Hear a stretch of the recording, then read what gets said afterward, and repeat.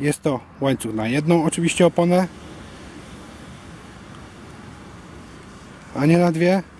Tak jak mamy tu w ciągniku siodłowym najczęściej. I zakładamy je oczywiście na oś napędową. Część wewnętrzna opony, yy, łańcucha, którą, którego zawiniemy wokół opony. Założymy zawleczką za oczko łańcucha i z drugiej strony mamy podobne. Też założymy zawleczkę i naciągniemy tym łańcuchem, który idzie tu dodatkowo, żeby to się wszystko ścisło na oponie. Próbujemy działać. Zaczniemy sobie oczywiście od podniesienia maksymalnie siodła do góry, żeby się nam zrobiła jak największa przerwa tutaj, żebyśmy mieli ułatwioną pracę.